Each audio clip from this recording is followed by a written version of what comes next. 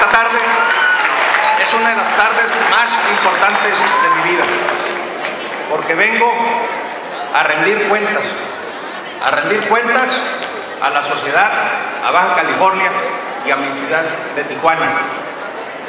Son dos años que hemos trabajado con intensidad y que hoy haremos un primer balance del mismo.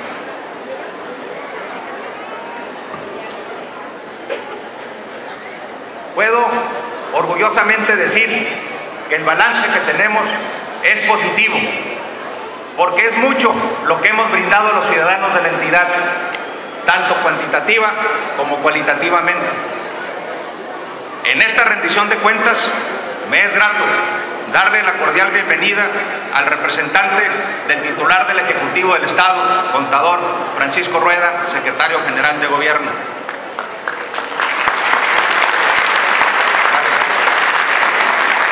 También es un gusto la asistencia de mi amiga, la presidenta de la mesa directiva del Congreso del Estado de Baja California, diputada Irma Martínez. Muchas gracias. De igual forma, agradezco la presencia de mis amigos, los presidentes municipales de Tijuana, Jorge Astiazarán. Muchas gracias, Jorge. De Ensenada, Gilberto Irata. Gracias, Gilberto.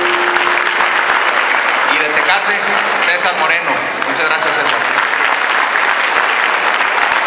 Quiero igualmente darle las gracias por su compañía al delegado del Comité Ejecutivo Nacional del PRI, doctor Leobardo Alcalá.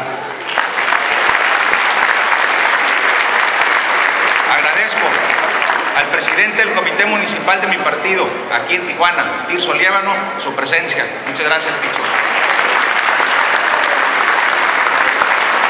Christopher James, dirigente nacional de la Red de Jóvenes por México, bienvenido y espero comunicación.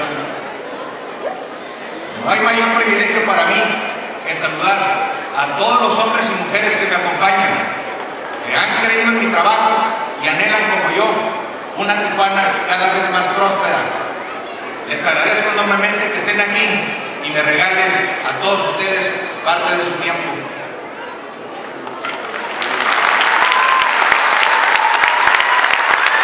Durante toda mi vida he trabajado por nuestra ciudad. He sido testigo de sus cambios. He conocido sus retos. Estoy consciente de las adversidades y tengo la esperanza puesta nuestra gente. Y sé que con trabajo incansable sacaremos adelante a nuestra amada Tijuana, a nuestra Baja California, que tanto lo necesita.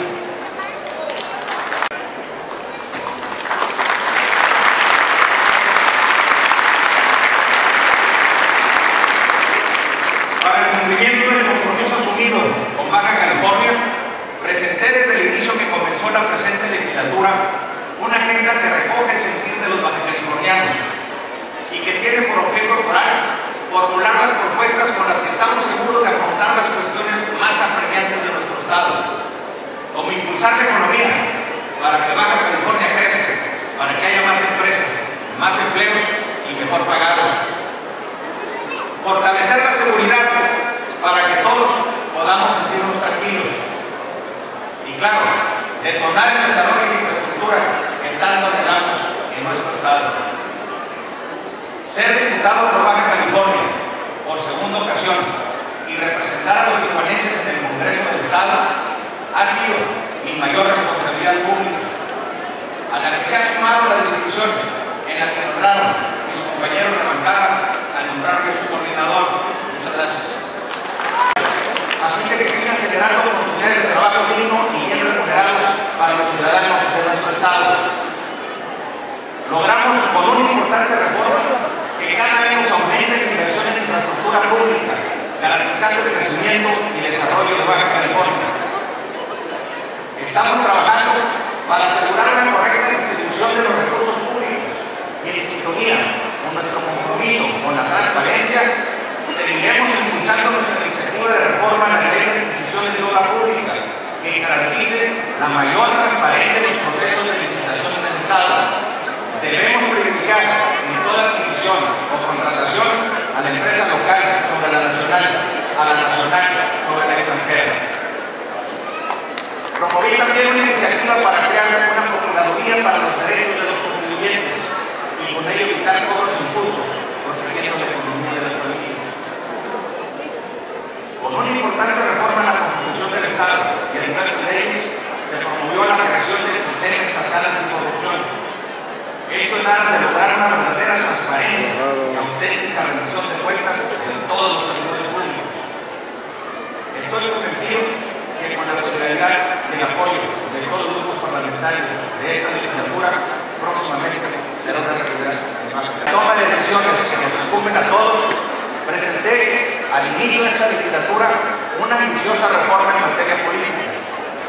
Fue ampliamente analizada y debatida en el Congreso y junto con otros esfuerzos legislativos, hoy es una realidad para nuestro Estado, que rige y fortalece los mecanismos de participación ciudadana.